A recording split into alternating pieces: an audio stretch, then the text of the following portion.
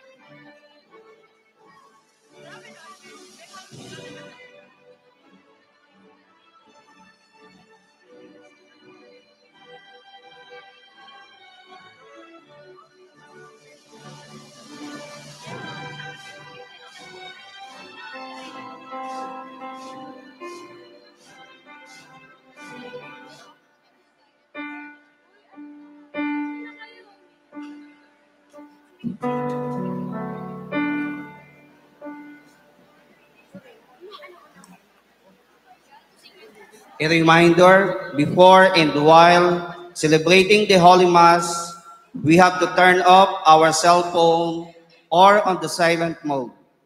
Avoid talking with each other, but instead, let, let us participate in responding and singing during the celebration. Thank you.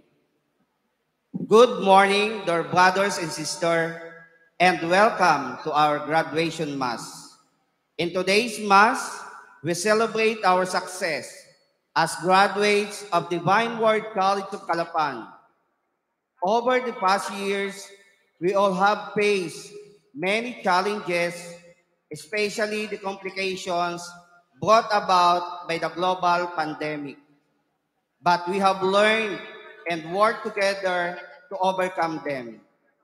Today, we celebrate our achievements and together we present our hopes, plans for the future, and joys to the Lord.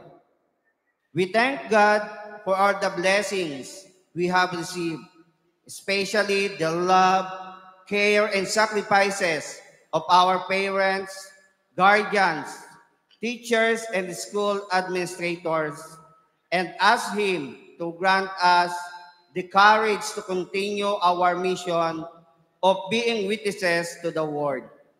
With today's graduation Team DWCC graduates committed to resiliency, faith, and excellence as SBD co-missionaries. May we live and work to realize this mission wherever we will be.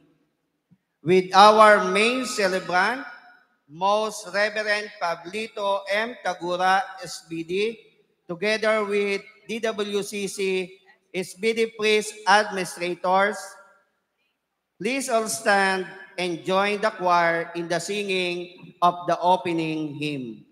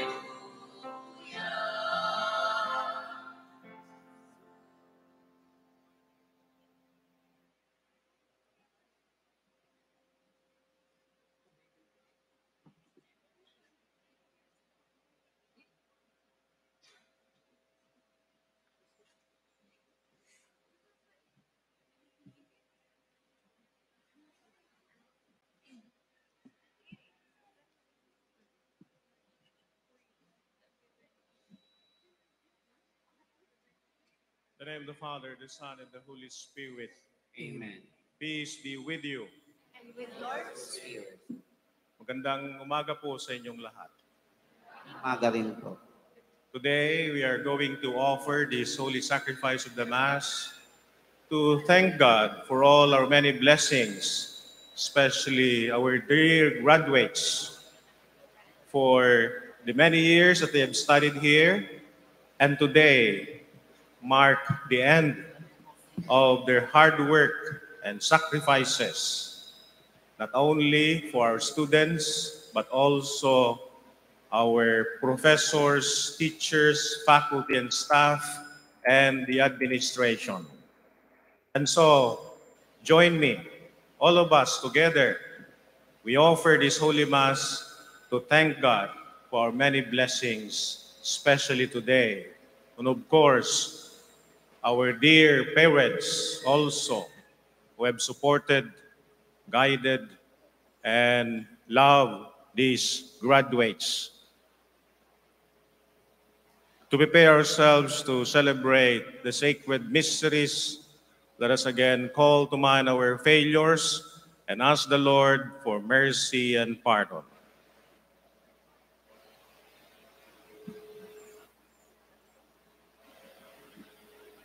You were sent to heal the contrite of heart. Lord, have mercy. Lord, have mercy. You came to call sinners. Christ, have mercy. Christ, Christ, have have mercy.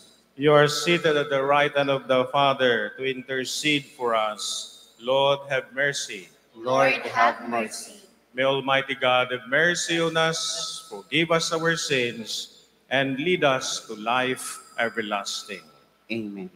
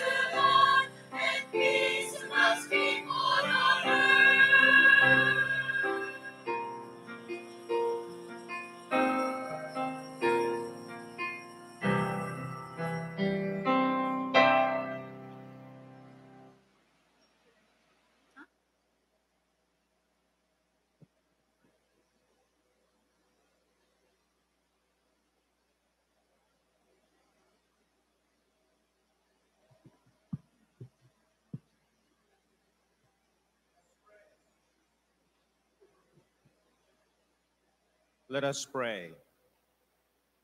God and Father of all gifts, we praise you, the source of all that we have achieved.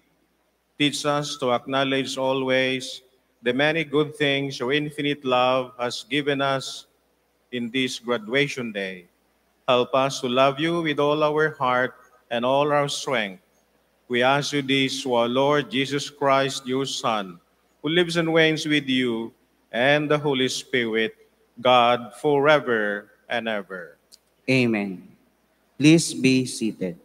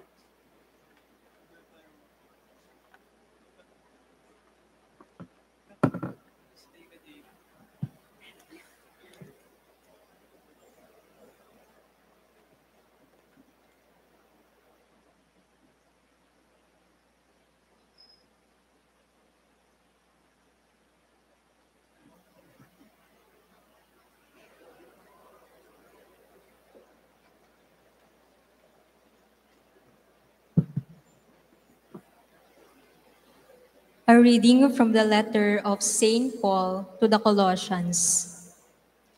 You are the people of God. He loved you and chose you for his own. So then, you must clothe yourselves with compassion, kindness, humility, gentleness, and patience. Be tolerant with one another and forgive one another whenever any of you has a complaint against someone else. You must forgive one another just as the Lord has forgiven you. And to all these qualities, add love, which binds all things together in perfect unity. The peace that Christ gives is to guide you in the decisions you make. For it is to this peace that God has called you together in the one body. And be thankful.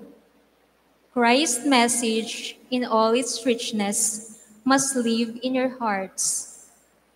Teach and instruct one another with all wisdom. Sing psalms, hymns, and sacred songs Sing to God with thanksgiving in your hearts. Everything you do or say, then, should be done in the name of the Lord Jesus. As you give thanks through him to God the Father. The word of the Lord. Thanks be to God.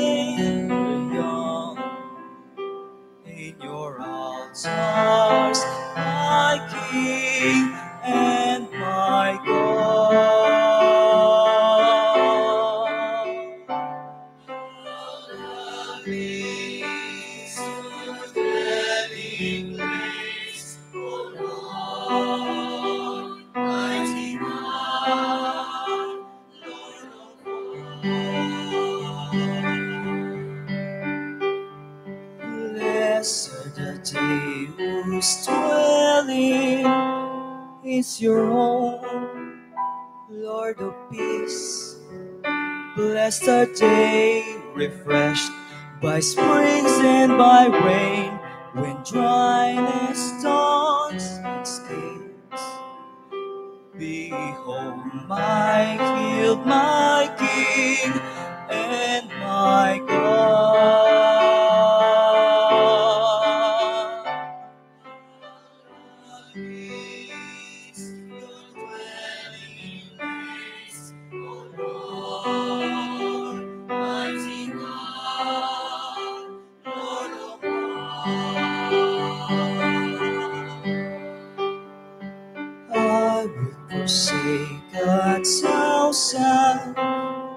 Other days anywhere.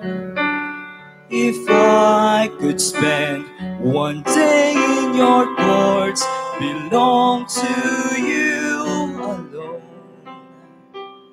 My strengths are you alone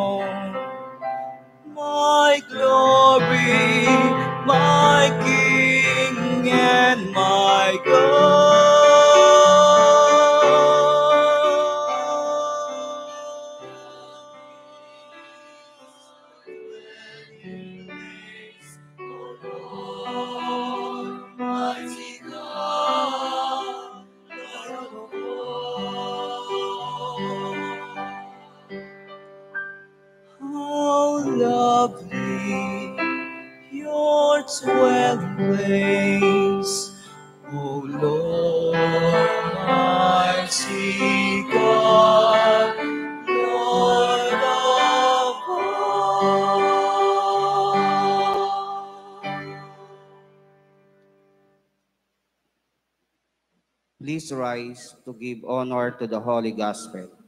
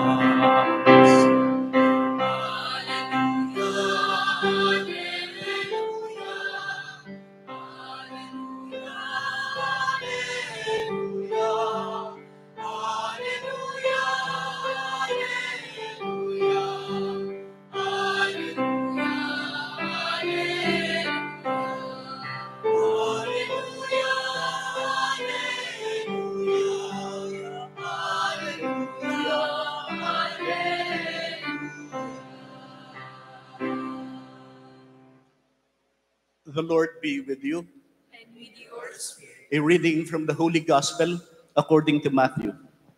Glory to you, O Lord.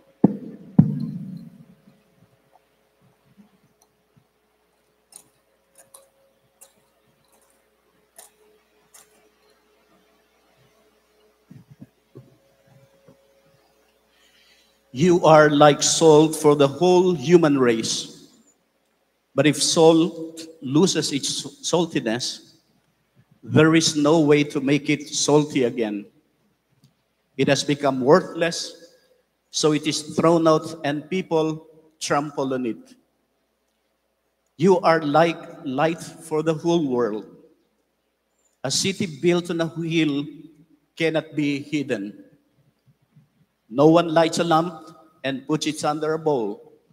Instead, it is put on the lampstand, where it gives light for everyone in the house. In the same way, your light must, must shine for, before people, so that they will see the good things you do and praise your heavenly Father.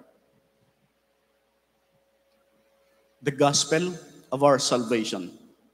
Praise to you, Lord Jesus Christ. Please all be seated for the homily.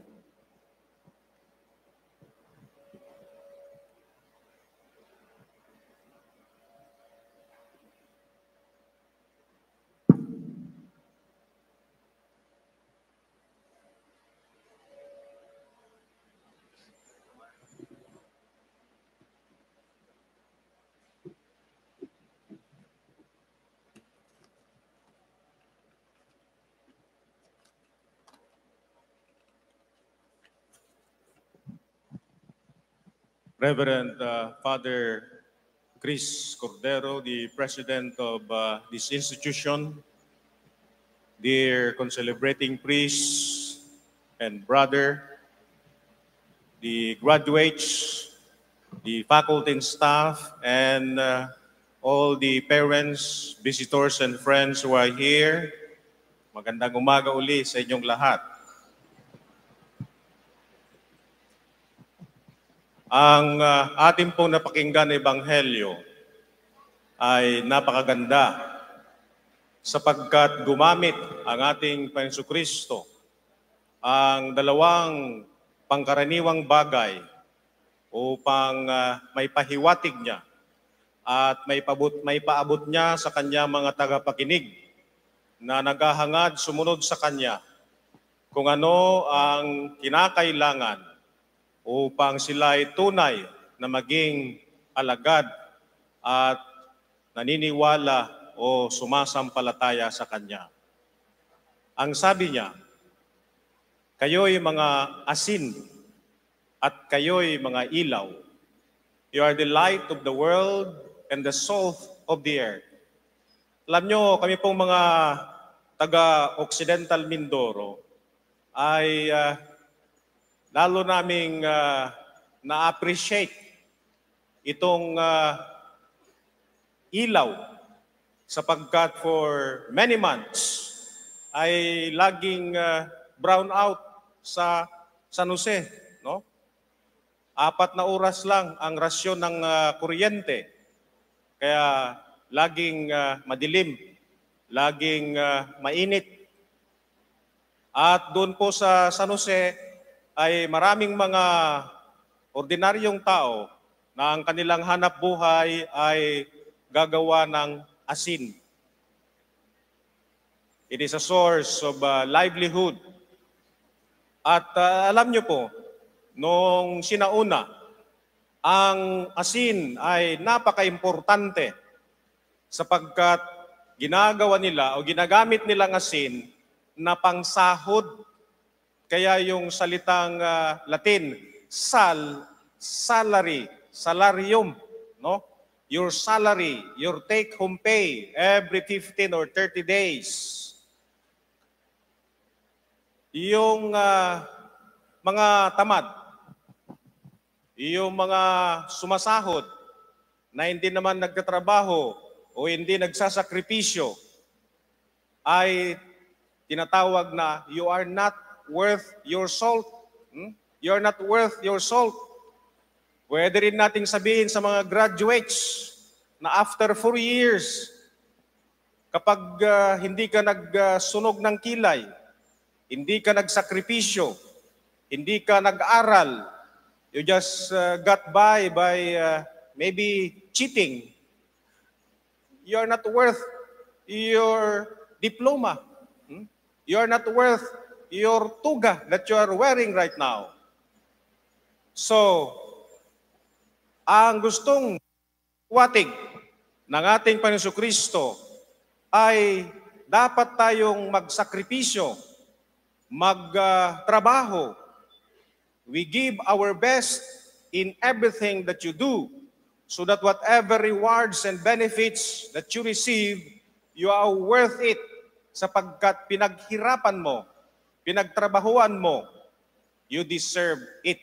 Salary, salaryum.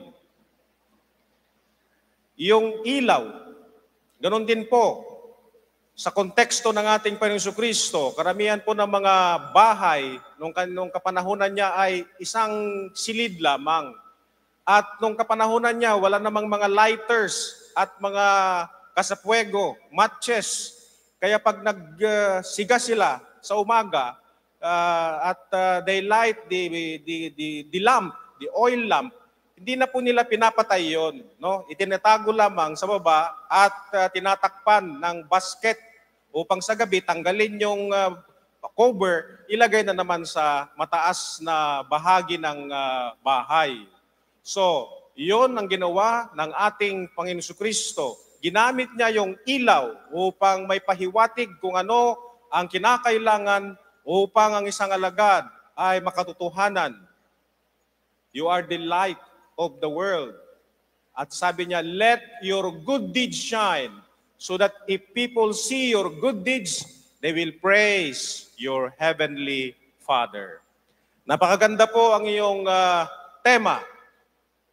DWC graduates committed to faith, resiliency, and excellence as SVD co-missionaries. Excellence, professional competence, committed faith, resiliency, ibig sabihin, human maturity. So, DWCC does not only train your mind intellectually, but much, much more. This institution teaches you the main objective. The one of the main objectives of this institution is to train your heart to become committed Christians, to be fully human. Kaya yung uh, ilaw ay para sa iba. Alam nyo, kapag uh, masyadong maliwanag yung ilaw, hindi mo nababasa ang uh, gusto mong basahin. At kung ito'y naman madilim na madilim, hindi mo rin kayang basahin yung libro o anong nakasulat. Dapat katamtaman lang, moderate, sapagkat kung masyadong maliwanag o masyadong madilim, ay yang ilaw ang pinapansin mo. Ganon din po yung asin. Kapag masyadong maalat ang uh, nilagay sa pagkain, hindi mo na malalasahan yung uh, flavor ng pagkain. O ito naman ay subkulang, matamlay, ang pinapansin mo ay hindi yung pagkain, kundi yung asin. Magko-complain ka, ito wala namang asin, wala namang bagoong. No? Hindi maganda. So, the light and the salt, they do not call attention to themselves. They become effective. They can perform their functions if they do it for others.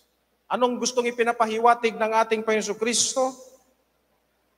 That uh, do not call attention to yourselves when uh, you do service. That you are not the center of the universe. Doing good works does not mean you should uh, be proud of it, taking credit, credit, and that you not, do not live only for yourselves, but for others, just like the salt and the light. Living for others is a rule of nature. Rivers do not drink their own water. Trees do not eat their own fruits. Sun, the sun does not shine on itself. Flowers do not spread their fragrance for themselves. And so, my dear graduates, that is your calling, not to be self absorbed, not to be self engrossed, that you are only focused on your own little world and you are only focused for hours and hours glued to your cellular phone. There is a bigger world out there. How do you measure success? Na ikaw ay nagtagumpay. Siyempre, kayo nagtagumpay sapagkat natapos nyo yung four-year o five-year course nyo. But is that the measure of success?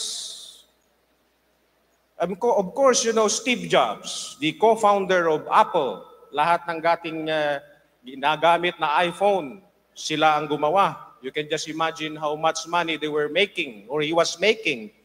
But he was dead at 56. 56. Limpak-limpak ang kanyang salapi na nalikom, pero dead at 56. And he said, while he was languishing on his hospital bed, dealing with terminal cancer, I have reached the pinnacle of success in business. Other, in other people's eyes, my life is a success. However, aside from work, I have had little joy. At the end of the day, wealth is just a fact I've gotten used to. I realize that all the recognition and wealth I took so much pride in has faded and become meaningless in the face of imminent death. You can hire someone to drive your car or make money for you, but you can't hire someone to stand sick and die for you. Material things lost can be found again, but there is one thing that can never be found when it is lost your life. Whatever stage of life we are currently at, in time, we will face the day the curtain closes. Love your family, spouse, children, and friends. Treat them right. Cherish them. You will realize that your true inner happiness does not come from material things of this world. Therefore, I hope you realize when you have friends, brothers, and sisters with whom you discuss, laugh, talk, sing, and talk about north, south, east, or heaven and earth. This is the real happiness. Educate your children not to be rich, educate them to be happy, to love sincerely, completely, and totally. Kaya, ang sinasabi ng ating Panginoon Kristo, sabi niya, seek first the kingdom of heaven, and everything else will be given besides. Generally, on average, yung mga nagiging suc- successful na graduates ay yung mga marunong makisama, marunong makisalamuha, no? marunong makipagkaibigan. Yun po ang mga umaasenso sa buhay. Hindi lang yung matalino, hindi lang yung top-notcher. But when you go into the real world, the measure of success it not, is not only your intellectual prowess, but you know how to relate with other people. And more often than not, yung marunong makikapagkapwa-tao, yung merong magandang relasyon sa iba, be it in the office or the school setting, sila po yung umaasenso. Sila po ang napropromote. Ano pong ibig sabihin ng ating Panginoon Kristo nung sinabi niya, You are the light of the world. You are the salt of the earth. Ito po yung mga magandang bagay na ginagawa natin. Na sa magitan ng ating magandang pakikisalamuha, sa magandang pakikitungo sa kapwa, people are reminded of God's goodness. Ay, salamat sa Diyos, meron pa rin mabait na tao. Paano tayo magmahal? Just like Jesus love us. Kailangan natin ng Diyos sa ating buhay. Kaya nga this is a Catholic institution. God first. Unahin mo ang kaharian ng Diyos, ang kagustuhan o kalooban ng Diyos.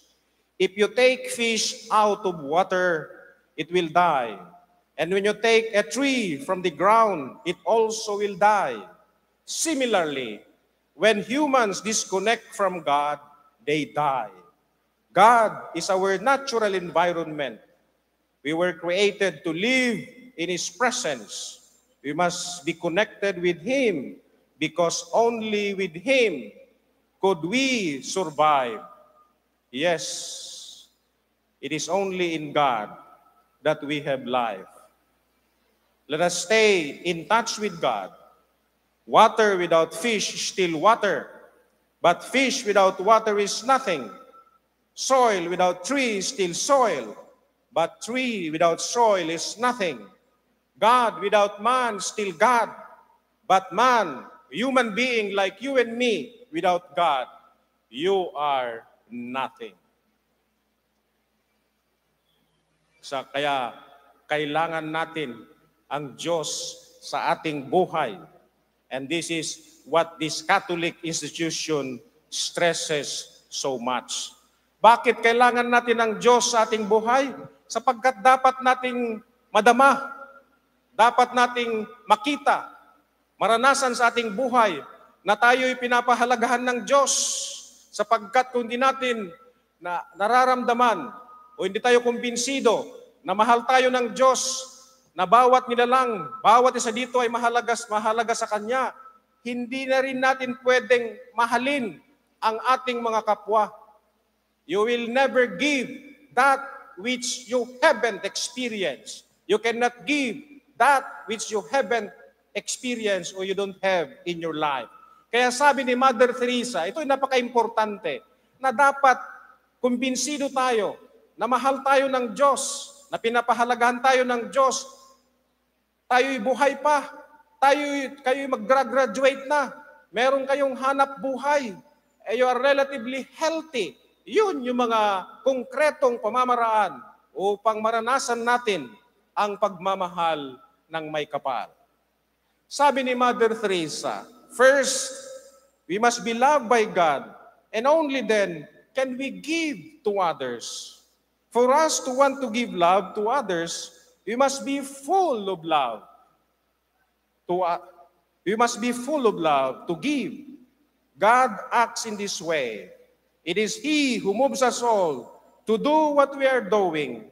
If we feel His love for us, then this love emanates from us. Kaya nga sa unang pagbasa, anong sinabi ni San Pablo? Put on compassionate hearts, mapagmahal na puso, kindness, humility, meekness, patience, bearing with one another, forgiving each other, but above all this, sabi ni St. Paul, put on love. Love is the capstone which binds everything together in perfect harmony. In perfect harmony. And so, my dear students, your education, your education does not end after you leave the compound of DWCC. Your education continues because, as the saying goes, do not study for school, but you study for life. There is a bigger classroom out there that is what we call life. And so, there are many things that you do not learn in the classroom. You must get used or you must accept that sometimes life is not fair. Therefore, you must cultivate the strength, the perseverance, and adaptability, not to be easily discouraged. That's why you see their resiliency. Resiliency. You do not learn from your success. You learn more from the pains and the failures. And every life has its own share of failures and pains. But when you fall down, you have the courage to get up again That's what you call resiliency. The world cares and values your actions, not just your self-esteem, not just showing that you're a graduate of DWCC. They will ask you, what can you do for us? Yes, what can you contribute? Focus on making a positive impact through your skills and contributions. Sabi nila, there are three kinds of people. Those who wait for things to happen, and those who watch for things to happen. But the third one is the one who make things happen. What can you do? What can you contribute? Even in your application, they will always ask that. Your diploma is not a guarantee that you will be employed. Dear graduates, I'm warning you that when you are employed, you will not make a six-figure salary after school. Merong mga graduates na pag nag-apply, gusto nila kagad ay managerial position. Don't expect a high salary right after school. Building a successful career takes time, effort, and continuous learning. And no work is beneath your dignity. Every opportunity teaches valuable lessons and the importance of hard work and sacrifice. Take responsibility for your mistakes. Blaming others hinders personal growth and learning. And lastly, you do not stop learning. Learn from those who know best. As Plato said, you catch cold from the one who has it already. Learn to value humility. Learning from others, especially those who have expertise. Yes, that's how you increase your wisdom. Be open to learning from them to gain insights and make better decisions. Now, my dear graduates, I ask you, I will ask you, what makes you different from your seatmate? There will be thousands and thousands out there who will be receiving the same diploma.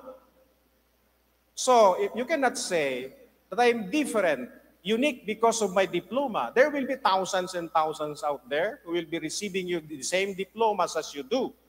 But what makes you different, unique in this whole wide world? Ano ang pagkakaiba mo sa lahat ng nilalang sa balat ng lupa? You are the only one who has a sole custody of your life. No one else will live your life. You are responsible for your life. No one can die for you. As Steve Jobs says, no one can substitute you on a hospital bed. I'm not only talking here of life in the classroom or life before the computer or life surrounded by your books or life as you are glued to your cellular phones hours and hours. I'm talking here of a more important life that is a life of connection, a life of relationship, a life of love. That is what Jesus is telling when he tells when he reminds us you are the light of the world and the salt of the earth because of our relationships, instruments of his love. And let me end by saying, love is the need of every living being. When someone feels loved and cared for, they feel worthy and add value to the world. Spread love everywhere you go. Let no one ever come to you without living happier. You'll find happiness by giving it first to others. Get a life in which you are not alone. Self-absorbed, self-engrossed. Find people you love and who love you in return. Get a life in which you are generous. Care so deeply about life's goodness and blessings that you want to spread it around like the light. Today or this moment is the only guarantee you get. Learn to be happy as counseled by my cousin who had a terminal illness. She said, think of life as a terminal illness because if you do, you will live it with joy and passion as it ought to be lived. Do good every moment. Think and thank God every moment. Life could be just a moment. Live it, love it, enjoy it. Let us live every moment with those we love and truly care for. That is the essence and the reason of the life that God has given us.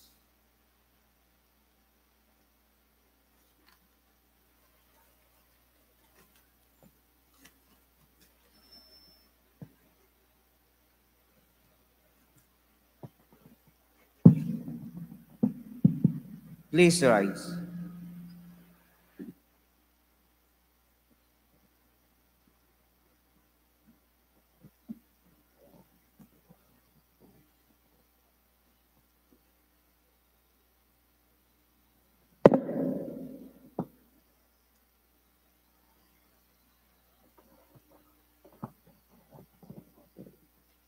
Dear friends, in this Eucharistic celebration, let us offer our prayers to God, our Almighty Father, through Jesus Christ, the Word incarnate.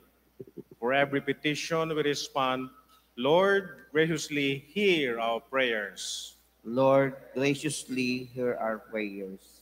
for Pope Francis, bishops, priests, and religious, that the Holy Spirit may enlighten them to proclaim the gospel of the world of today with deep love and to our fellow men with full respect for the truth. Let us pray to the Lord. Lord, Lord, graciously graciously hear our prayers. For the graduates of this institution who will be chosen for public office, that they will carry out their mandate for the people with honesty and full trust and security, and that they will continue to become witnesses to the word by doing magnanimous work as they remember the virtues of St. Arnold Johnson. Let us pray to the Lord. Lord, graciously hear our prayers. for all parents that they may seek every opportunity to send their children in Catholic institution to instill their heart and mind the legacy of Catholic faith. Let us pray to the Lord. Lord, graciously hear our prayers. For the teachers who are engaged in the important mission of forming the students that they may live what they teach and teach what they live, and that they may discover new approaches which our times demand. Let us pray to the Lord. Lord, graciously hear our prayers. For all graduates and who gathered here, that Christ may inspire us to grow constantly as a human person, and that our goodness and our love make our words acceptable and believable. Let us pray to the Lord. Lord, graciously hear our prayers. For the young people who cannot afford to go to school, those who are very poor, the sick and the indigenous, those who live in small islands and far-flung places, that God may bless them with generous people who will sacrifice for their growth and development. Let us pray to the Lord. Lord, graciously hear our prayers. Pour out upon us, O Lord, the Spirit of your love, to make us one heart, and may we see your word for the service of humanity through Christ our Lord. Amen. Please be seated.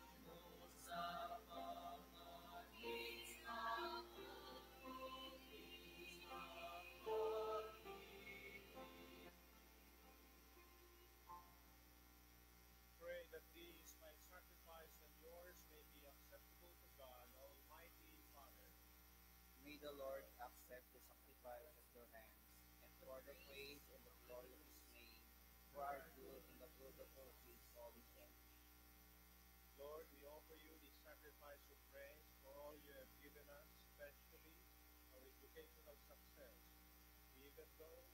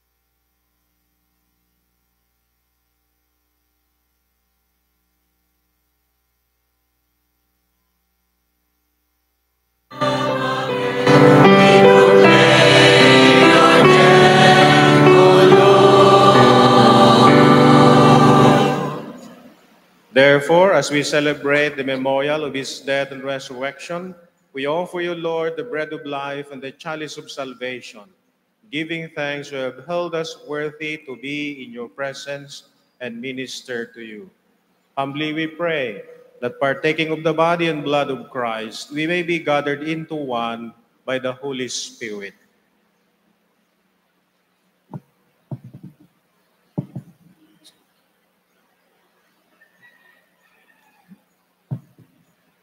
Remember, Lord, your church spread throughout the world and bring her to the fullness of charity.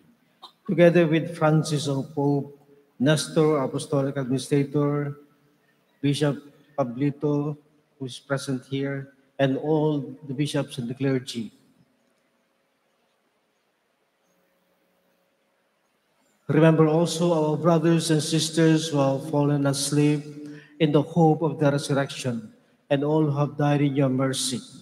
Welcome them into the light of your face. Have mercy on us, we pray, that with the Blessed Virgin Mary, Mother of God, with Saint Joseph, a most chaste spouse, with the blessed apostles and all the saints who have pleased you throughout the ages, we may merit to be co-heirs to eternal life, and may praise and glorify you through your Son, Jesus Christ.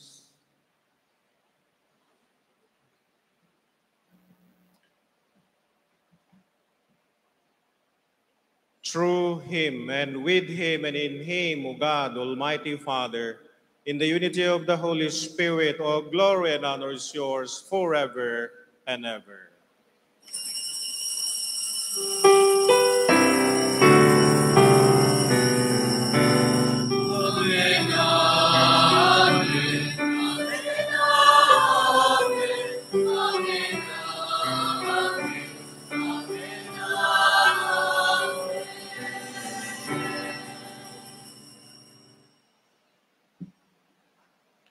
Jesus told us to call God Abba, Father, and so we have the courage to pray.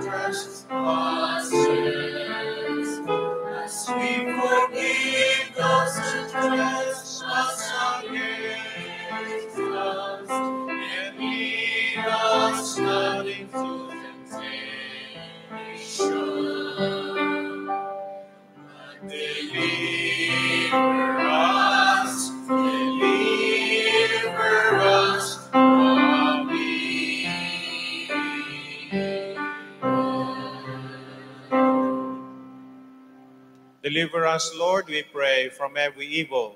Graciously grant peace in our days, that by the help of your mercy, may be always free from sin and safe from all distress, as we await the blessed hope and the coming of our Savior, Jesus Christ.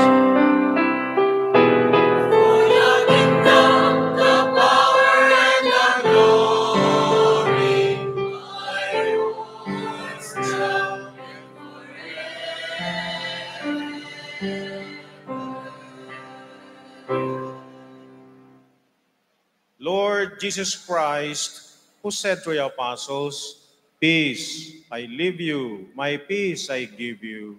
Look not on our sins, but on the faith of your church, and graciously grant her peace and unity in accordance with your will, who live and reign forever and ever.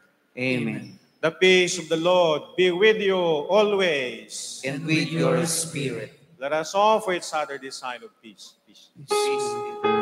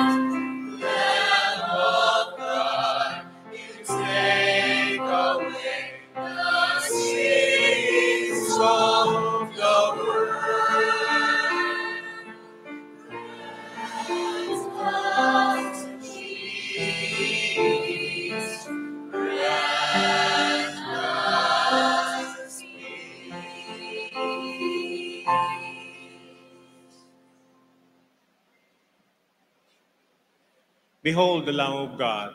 Behold him who takes away the sins of the world. Blessed are those called to the supper of the Lamb.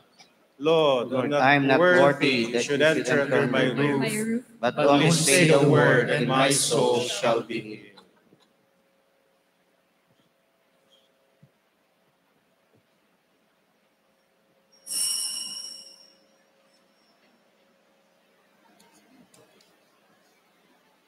Please be seated.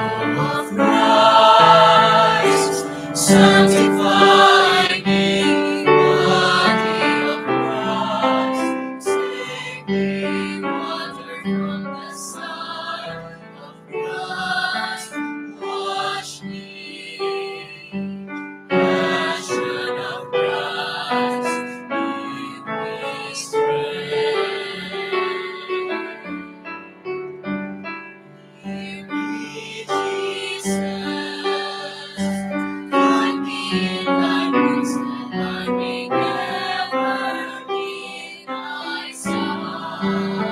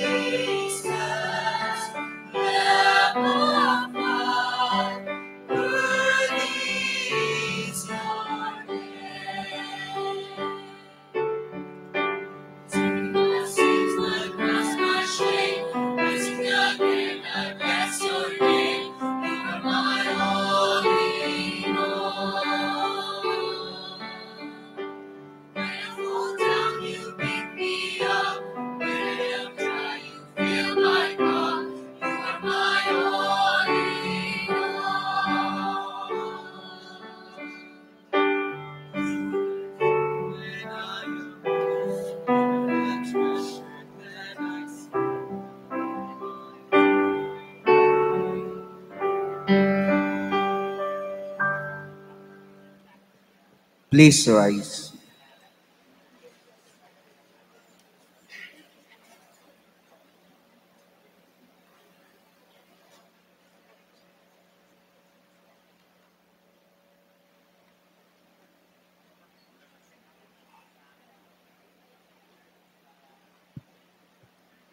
Let us pray. God our Father, in this spiritual food you have given us, given back to us a sacrifice we offer in thanksgiving, the saving sacrament of Christ your Son. By these gifts of strength and joy, sustain us in your service and bring us to your gift of eternal life. Grant this through Christ our Lord. Amen.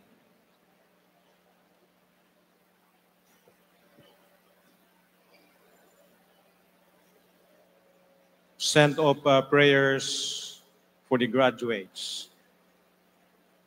Our Holy Triune God, we lift up to you our graduates and we thank you for the completion of another academic year and for giving us the opportunity to follow you through our dear institution, DWCC.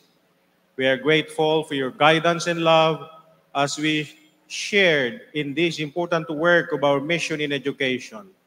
Bless and guide our graduates as they reach this end and as they chart new beginnings. May what they have learned by being here with us allow them to become truly witnesses of the Word to the world. Help them to use all the knowledge and skills that they have acquired in DWCC to make this world a better place to live, to serve others in true spirit of solidarity and kinship, to seek ways to help the poor, the marginalized, and those who are suffering, and to always seek the dialogue, dialogue with others. We know that some of them will experience pain and hardship, and we know that some of them already have, and we ask you to grant them solace, resiliency, and strength. Finally, Father, we thank you for giving us the opportunity to impart in them your mission, mold and build these young women and men while they are at DWCC. Although they are leaving Divine Word College of Calapan, we know that they will always be with us in mind and spirit as part of their Nodos family.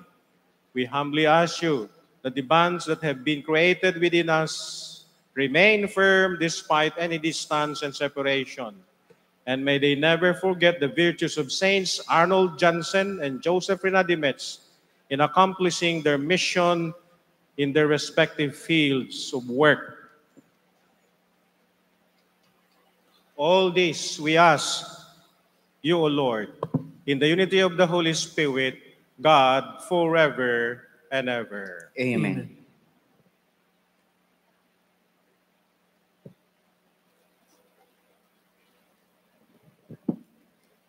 In behalf of the Divinian graduates, we humbly accept the challenge of carrying the core values of DWCC and the mission of becoming one of the co-missionaries of Saints Arnold Johnson and Joseph Reynadimitz.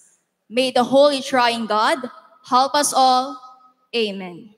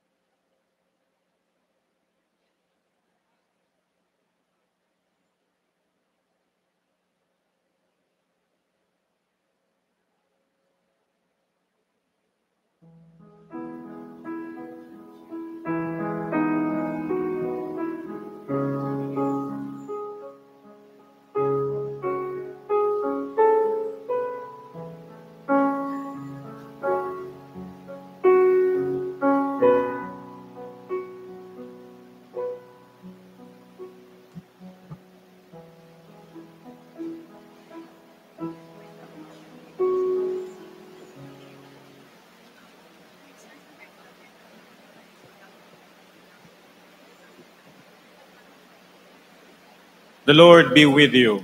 And with your spirit. Bow your heads and pray for God's blessing. We praise and thank you, God, our for these graduates whom you commend to your care, knowing that you are always the faithful traveler and companion on our way. Shelter them from harm and all useless anxiety. May the future be a source of many enriching and transforming moments. We ask this through Christ, our Lord. Amen. And may the Almighty God bless you, the Father, the Son, and the Holy Spirit. Amen. Our celebration is ended. Let us go in the peace and love of Christ. Thanks be to God.